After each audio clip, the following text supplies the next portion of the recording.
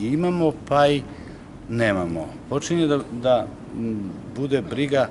za slobodnim časovima, kako i ko da drži te časove, jer unazad nekoliko godina je evidentirano da je evidentno da nemamo nastavnike tehnologije sad novom podelom predmeta tehnike i tehnologije na dve grupe, dolazi do potrebe za još većim brojem nastavnika, tako da je tu situacija baš, baš onako zabrinjavajuća. U svim školama je potreba za nastavnicima tehnike, informatičari, takođe nam trebaju fizičari, matematičari, nema ih.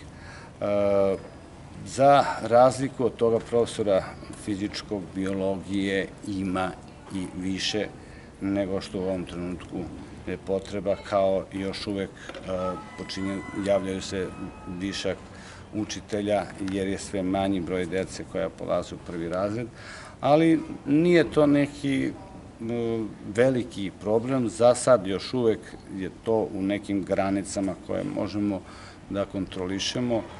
i da zbrinemo te ljude da ne ostanu bez posla, kao i da nađemo